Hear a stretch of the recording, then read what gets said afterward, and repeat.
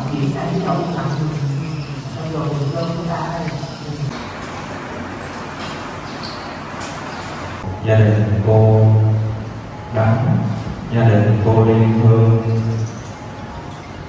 cùng toàn thể gia quyến bệnh tật tiêu trừ tai qua nạn khỏi nghiệp chướng tiêu tan thanh tâm thường lạc phật sự các từ như lý gia quyến an khang lòng tin tam bảo càng sâu, tâm từ đối với chúng sanh ngày càng thanh từ hồi hướng cầu siêu.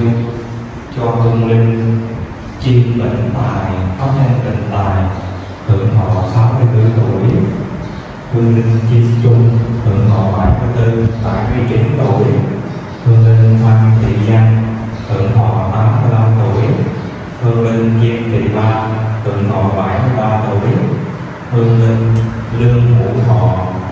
phát thiện tài hưởng dương 39 tuổi, cùng hương linh, Đỗ Văn Hơn phát danh Phúc Hơn hưởng thọ 71 tuổi. Hương linh, Chữ Thị Gài. Hương linh, Nguyễn Thị Thần.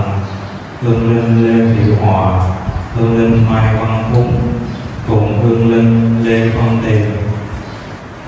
Nguyện cầu cho các hương linh cùng phổ huyện thất tổ lục văn quý thuộc của quý phật tử được trưởng thừa ba bảo lực, pháp sản mê độ siêu sanh tịnh độ.